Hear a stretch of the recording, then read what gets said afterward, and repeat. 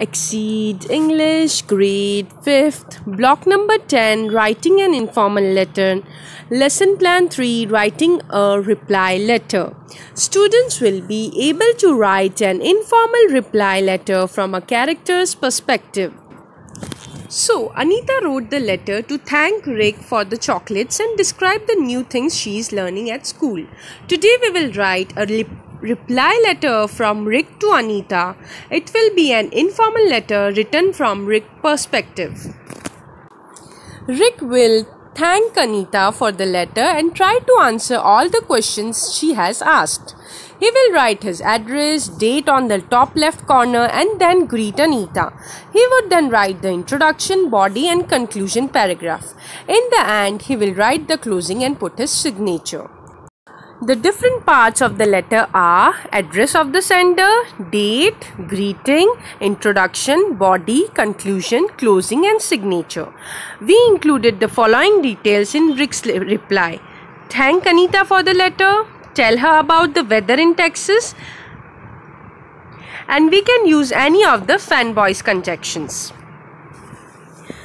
we do not did not write a letter describing the new things we are learning at school. We wrote a reply from rick. Writing writing from a character's perspective means we assume we are rick and we write what we think he will reply to anita if we want to write a letter to the city official complaining about the loud noise how we will write? First of all it will be a formal letter.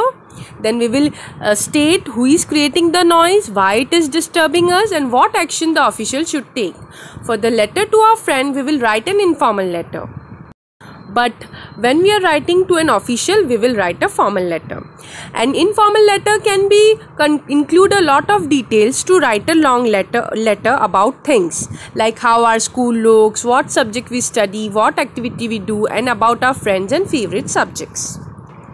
Open S3 volume 2 page number 12 Writing a reply letter.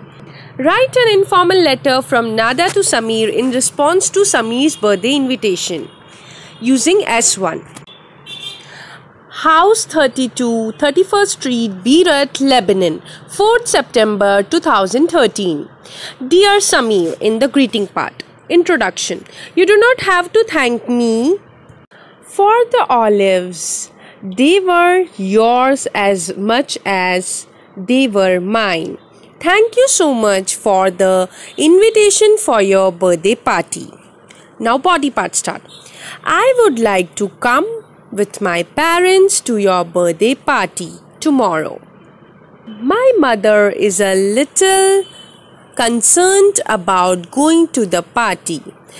Yet I am going to come Yet I am going to convince her and bring her along. I love parties because you get to meet so many people, play games, and eat delicious food.